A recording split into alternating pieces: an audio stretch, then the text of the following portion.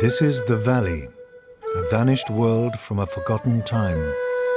Here on the Welsh borders lies a remarkable farm, one that is trapped in time, being restored to how it would have been in the reign of James I, the year 1620.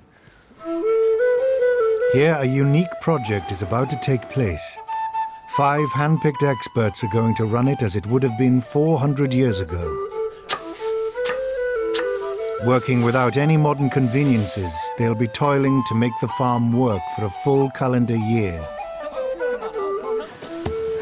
Over the next 12 episodes, we'll be following our team through the months and seasons, from the warmth of summer to the dark depths of winter, as they turn the clock back to rediscover a way of life from an age gone by.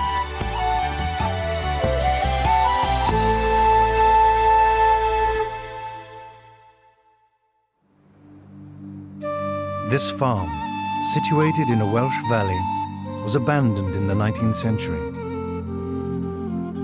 Over 150 years later, a project began to restore it. Over the last 17 years, the foundations of a 17th century farm have been relaid. Although the site is taking shape, there is lots that still needs to be done in order for it to function as a fully working farm. Our team are going to take on the challenge. Although modern health and safety laws mean they can't actually live here, they're going to work here on a daily basis. They'll wear period clothing and cook and eat food from the era. They'll be turning theory into practice, doing everything by hand, using only tools and materials available in the year 1620. A small hill farm like this would usually have been run by a farmer, his wife and children, assisted by some servants and labourers. Following in their footsteps is Stuart Peachey, a historian specializing in the food and farming practices of the period. He's been closely involved with rebuilding the site since the beginning. In theory, we know what we're doing for the next 12 months, but many of these practices haven't been used in Britain for hundreds of years now. It's also the first time on the farm that we've had a full team to run it over a complete calendar year uh, using these original techniques. So there's a lot to find out. Is it really going to work or not? No, yeah, but you're getting the follow through better. Four other experts have been recruited to join Stuart. Historian Ruth Goodman specializes in the clothing and social customs of the era. She's an advisor to the Globe Theatre and has been a consultant on films like Shakespeare in Love. I've done lots of the sort of domestic and social tasks that a farmer's wife would have needed to have done. But what I'm really looking forward to is some of the bigger agricultural things like the year round care of animals, sheep shearing, a wheat harvest, which I've never really had a chance to try before. Come on, gorgeous. And there are three young archaeologists. Chloe Spencer has the most practical experience of working with animals. Good girl. I grew up on a farm, so I'm not too worried about working with the animals generally. I'm a little bit apprehensive about working with period breeds in a 17th century setting. Um, I've no idea how they'll react and, and how to work with them, really. So I think it's going to be quite a challenge. Alex Langlands and Peter Ginn, nicknamed Fons, are going to be supplying much of the heavy labour.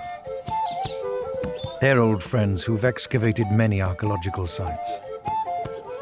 I'm really looking forward to throwing myself into these big agricultural projects. We're going to have to be um, ploughing, we're going to have to be shearing the sheep, and at the end of the year, hopefully, we're going to be harvesting. But it's one thing to read about it, it's another thing to be faced with the task of actually having to do it. Ever since I was a kid, I've always wanted to be a farmer, so this represents a fantastic opportunity for me. But having to try and get this farm to work without modern machinery and using tools from the period, that's a real daunting task. It's September, and after a few days settling in, now the team really have to get to work. This is the month that kicks off the agricultural calendar. The most urgent task is ploughing.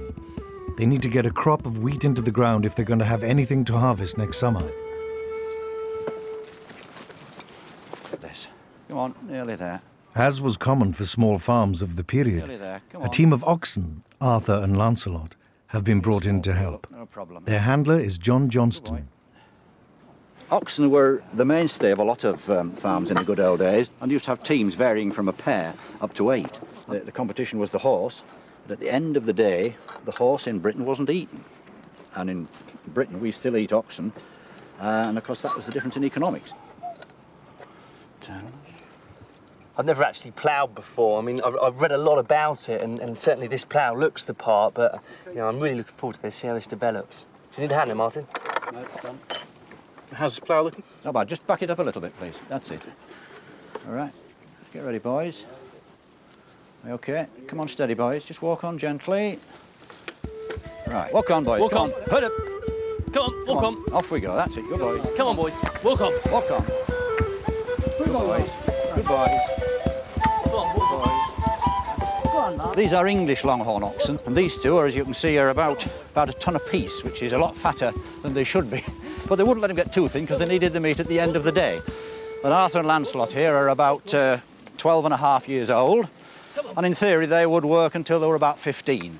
Walk on. Bit rocky coming up, boys. Walk on. It's probable that nobody's used a plough like this since the 17th century in this country, but we do at least have period diagrams and instructions from which we've been able to rebuild this one. An acre used to be the amount of land a man could plough in a day, so as we've got half an acre here to put down to grain, we should be finished by lunchtime. Come round. Just come gently now. Just go steady now. Steady. The oxen are pulling their weight, but the team are struggling with the plough. Is she clogging or is she? Yeah. Problem is it gets pinched between the. Um, Is it worth taking the coulter out? yeah. I just wonder that. Yeah. Stuart, can I have a mallet, please? Yeah. What's happening, Fons? Um, it's clogging up between the coulter and the ploughshare, so I was just going to raise the coulter a bit. Forward. The coulter, the metal pin, that's supposed to actually do the cutting, and the share, well, that divides the earth. But what we're finding is that between the coulter and the share is we're picking up loads of stubble, and that's just blunting the share, so it's not going anywhere. So what we're going to try first is to remove the coulter out of the equation, just see if the share is enough to cut. Ah, Whoa. Whoa. Indoors, in the well house, Ruth and Chloe have to master one of the most essential tasks of a 17th century farmer's wife baking bread. First step is lighting the bread oven. Like most bread ovens 400 years ago, you actually light a fire inside the oven. And then as it burns, it heats the stones or bricks around the space. And then you can take the fire out, and the, it'll be the hot stones themselves that do the cooking. Because these are such fine twigs, they're all this waste material, they're really actually springy and difficult to get into the oven. Are we full? Oh, excellent. I usually find the best way to get this lit really quickly is to uh, put a handful of hay in under the faggots. We're aiming for a temperature to cook bread. Um, so, you know, if you're on your oven at home, if you've got a dial, you want something like gas mark 7.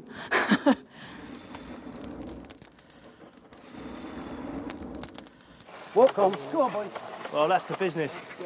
Excellent. Goodbye. Goodbye. Good boys. Good boys. Ah, Okay, so we're not gathering clag anymore, so we're good. that's been the problem then, I think, isn't it? We're starting to get into the ground at last here, but it's not perfect yet. It should be turning a nice sod on one side only, but at the moment it's just scratching a groove across the ground. But it's progress.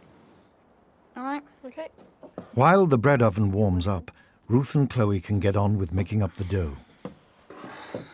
A farm like this probably would have been making two or three times a week. Not every family would have had their own bread oven.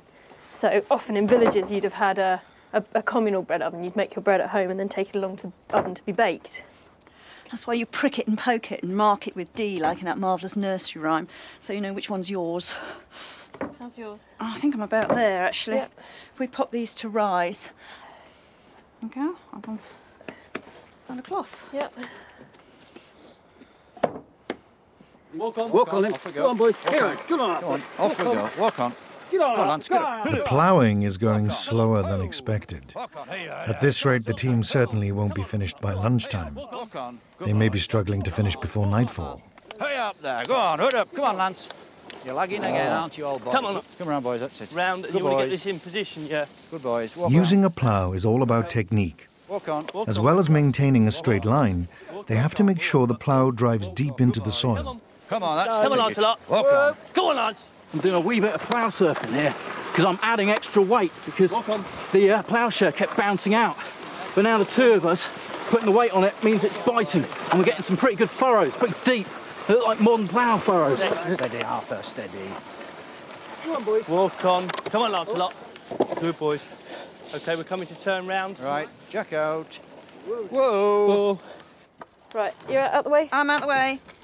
Here it comes. Now that the bread oven's up to temperature, Ruth and Chloe need to rake out the embers. No time to waste doing this. We've got to get the bread in and the door closed before we lose too much of that heat. Right. Three on there. Yeah. One, two. It's quite a big bake we're doing this week. Um, I, Okay. I reckon this will probably last us the best part of sort of half a week or so. Ooh, cloud of steam there. Okay. Mm, all right. Once the bread's in, we put the doors up and then you seal it round with a bit of flour and water paste. In comparison to a modern oven, it's an awful lot of faff and work. However, the cooking times are fairly similar to a modern oven, and you get a lot of useful cooking heat out of one burn. The heat is in the stones, and gradually that temperature's coming down. So, as long as you've got the food lined up in the right sort of order, you can bake a series of things from one burn. Good boys, boys. walk on. Walk on. It's been a hard but successful day ploughing. By late afternoon, they've done almost half the field. Walk on. Come across. That's it. Pull them across a bit. It's really going well now. We've quite literally got in the groove. Walk on, come on. It's fantastic. We've got a, a, a- a plough that's been made to period specifications. We've got period species of, of, of oxen, and it's and it's really working. Good boys. Thrilling, absolutely thrilling. Walk on. Hey, uh, uh, come on, zoom in. Walk on, Ho. Come on, come on, Lancelot. Come on, hey up. Okay. Some. Let's see if he's done. Lovely. Knock him on the bottom. Oh. yeah, that's. Yeah, I think that one sounds all right, good. Of course, these loaves got a little bit of ash and charcoal on the bottom of them, so we didn't want to spend too long cleaning the oven out. It would be ridiculous to do so. So the bottom crust is always just that little bit dirty, and that's why some people in the sort of posher houses would slice them that way instead of that way, so that you get an upper crust and a lower crust. And uh, obviously, the posh people ate the upper crust, and that's why we sometimes refer to them as members of the upper crust. Walk on. Ooh, what was that? Come on, come on, walk on. I'm remarkably impressed actually as to how well they've Walk done on. in these 1600 on, conditions. And once we got the Come plough on. something like right, on, on. the boys have sort of knuckled in and they really are pulling away quite well here. It must have been fairly hard work though. I can tell you we haven't done an awful lot, but we're all sweating here, including the oxen. But they do seem to like yoke on, and once the plough's dug in, they will pull away. It's sort of instinctive to them somehow. I'm pleasantly surprised. Come on. You can do it, boys. Come on, walk on. Ho! Come on, Lance. Eight hours in, and the team are well on the way to finishing the field. It's been tough, but rewarding, even if they've been ploughing at about half the speed of a 17th century oxen crew.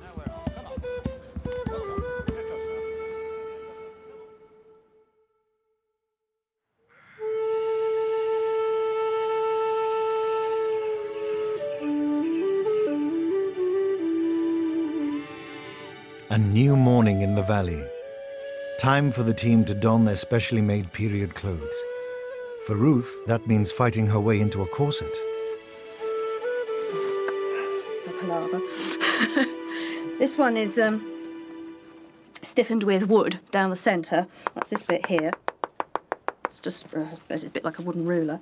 And then the rest of it is stiffened with bents, which are just sort of reeds. Sometimes these were like removable and they were carved with sort of, because it's next to your heart with sort of love things. You know, it might be something that a sweetheart would give you. And, and there is one really nice little um, one that survives that's got written down it uh, to my dear sister, and don't break this one.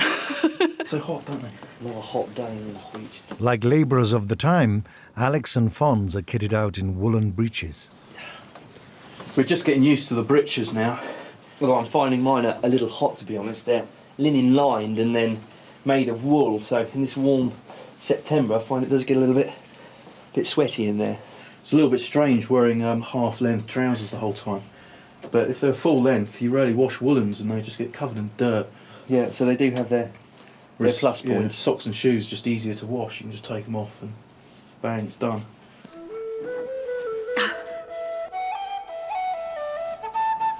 This shirt, it's a linen shirt.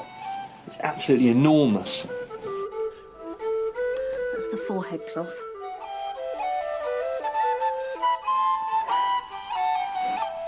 It's always the first workout of the day trying to get into one's doublet. It's a bit of a palaver getting dressed. Still, ready for action now.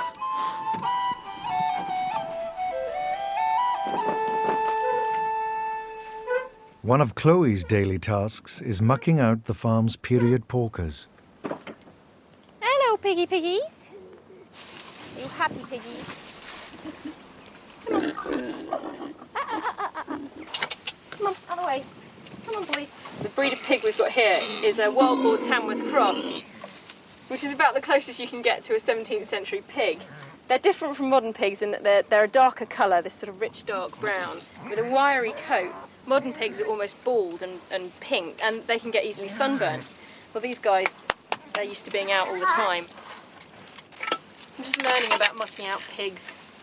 It's a new one for me, I have to say, and probably the worst smelling animal I've ever had to do. But it's funny what people say pigs don't sleep in their own mess. They really don't. They've left all the muck and mess at the front of the pen. And where they're all lying down at the back, it's still nice and clean.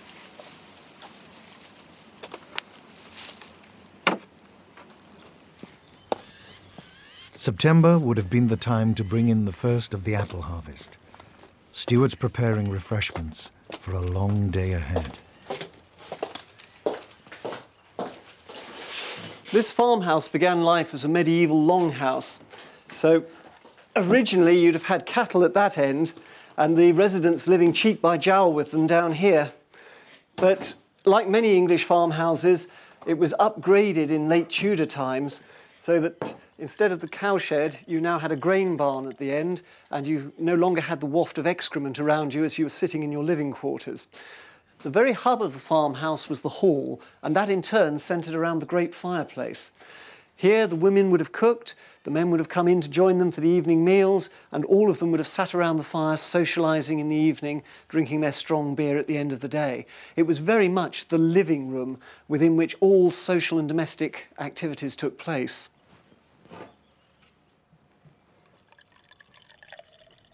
To help bring in the apples, Chloe is going to press the valley's workhorse into service. This is Blackthorn. She's an ex pit pony. She's actually a fell horse, which is not local, it's from up in Yorkshire. Um, short, stubby legs, which is ideally suited to this kind of work. Stand. I've only known Blackthorn a short while, and I can see already she's got a hell of a temper on her. She's been dancing around on the end of this rope, so I think we're going to have a bit of a problem on our hands there. Not only is it going to be a challenge getting her fit again, but also getting the boys working with her.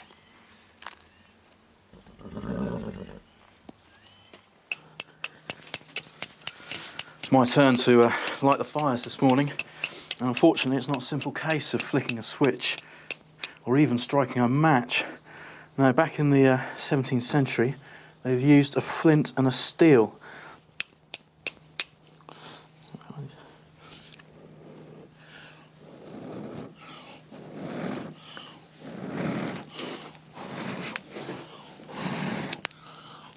Doesn't always work that quickly. But for me, thankfully this morning, this is going to be a relatively easy job. This is actually quite similar to a modern lighter. Modern lighter has a flint and it also has a steel, and you roll the flint across the steel. Instead of gas, we've got a little bit of tinder, which is um, basically linen that's been burnt, and that lights the straw, and hopefully that, that faggot's starting to take. And now we have a fire. Excellent.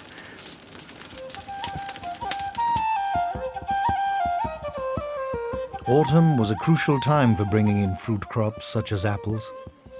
They'd be carefully stored to provide an extra food supply for the winter ahead. I can tell they're ripe. Partly this tree's got quite a few that are already rotten on it. Uh, it's a characteristic of the Cornish aromatic. We've got quite a few windfalls on the ground, and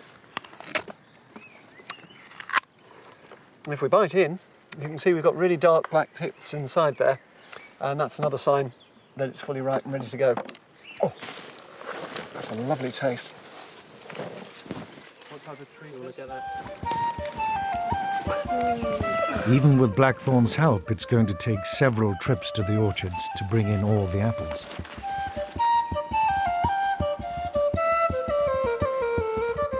Some things never change. 400 years ago, the end of a long day marked a chance to relax and enjoy a few beers. It is tiring. I don't think it is as tiring as I thought it was going to be. Um, I mean, it's just a case of once you get used to it, you get into that routine. I'm certainly noticing that I've become a lot fitter. if you're out doing a job all day and you kind of say to yourself, I must get to that point by the end of the day, and you're just invigorated. And I don't know whether that's the experience, whether, whether that's something that they would have felt back, you know, all, all those many years ago. But for me, I find that very kind of, there's a bit of a buzz, really. I think the biggest surprise for me is how easy it's been to actually just absorb yourself into the life. You find yourself just taking to it as like second nature. You just forget. I mean, you really do forget things like TV and rush hour traffic and all that kind of just painstaking part of modern day life. How you getting on? I'm dry. Me too.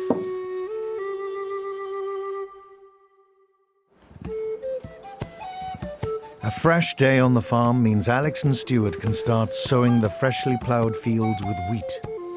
It's their main crop. They need to make sure it's well established before the winter frosts come.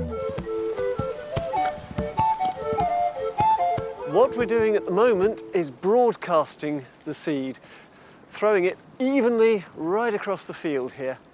And the trick and skill for the farmer on this is to get an even cover. Otherwise, you're going to waste a lot of your seed corn.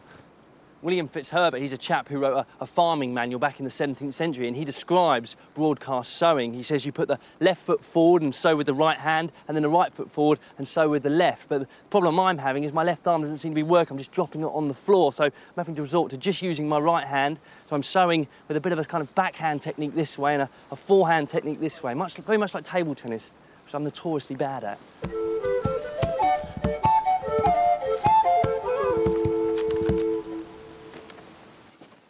Pigeon was a common farm dish in September. With fields freshly sown, rather than let pigeons eat the seed, farmers ate the pigeons. And unfortunately, they don't come oven ready. So I've got the job of plucking them and then gutting them.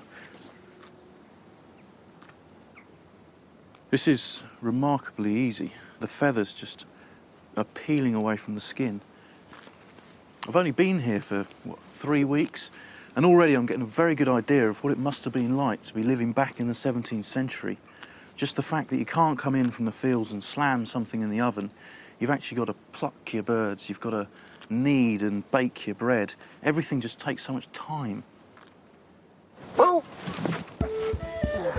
Hung up beautifully. There she goes. Ah. Stuart and Alex are going to use a hawthorn branch to make a rustic harrow to rake over their newly sown wheat seed.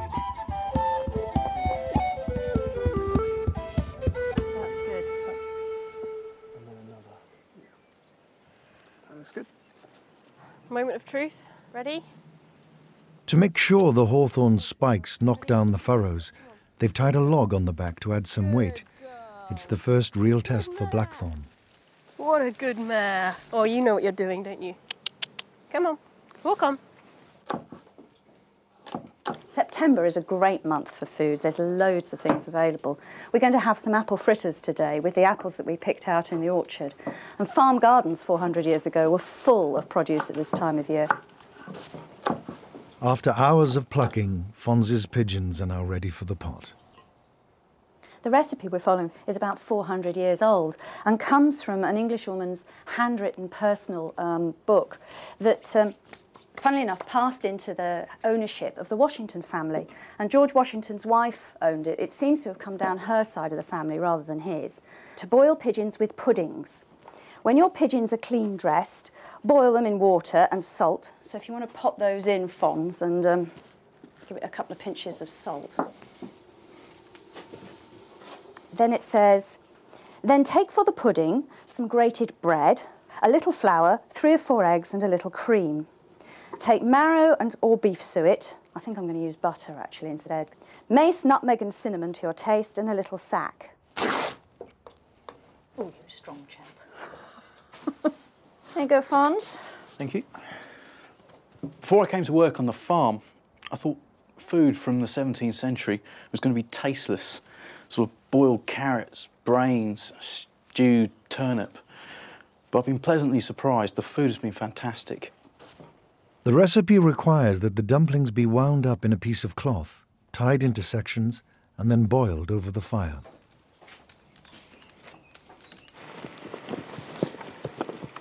The rustic harrow they're using is based on one depicted in a period illustration. Looking at it, I think we might have done better if we put a second log back towards the, the tail end to flatten out the back of the bush. But we're getting a reasonable sweep. That might just broaden out how much we do. The trick now is going to be steering the horse because we should be working systematically from side to side of the field. But that's going to come with a bit of practice. Puppy. I can't get to walk in a straight line, Chloe. Hang on. You take her. We're using another recipe out of this book entitled To Stew a Dish of Mushrumps. They're a marvellous free food at this time of year, mushrooms, although quite a lot of people in the 17th century were very suspicious of fungi in general. On the other hand, some people thought that they were an aphrodisiac, so.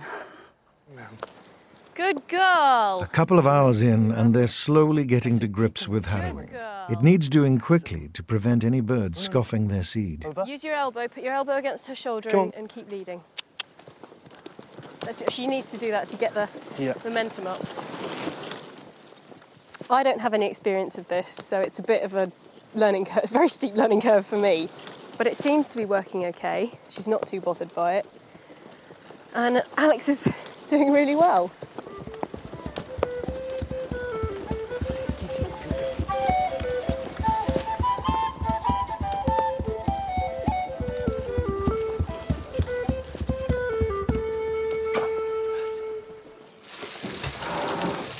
Indoors, supper's nearly ready.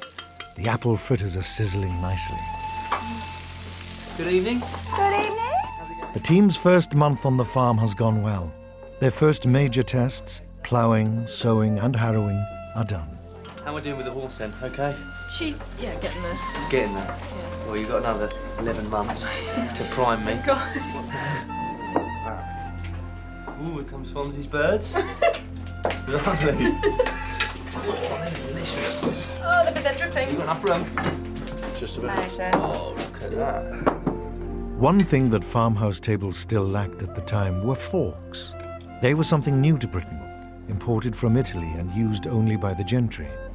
Ordinary folk had to make do with knives, spoons, and their hands. There we go, look at that. Oh, yeah, yeah, yeah, yeah, yeah. But all dumplings Bring your plate over. Yes.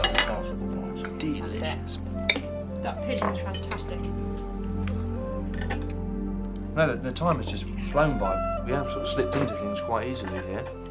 Uh, maybe I'm speaking too soon. We do have the winter to go through, don't we? Maybe you're speaking for yourself. It'll be a year before Stuart, Ruth, Alex, Chloe, and Fons find out how well their wheat crop has done. In the meantime, they'll have plenty to get on with. Next time in the valley, it's October. Time to get the pigs out into the woods. Keep those pigs under control. The team have to bring in the pears and put them into store. And there's a cowshed to be built.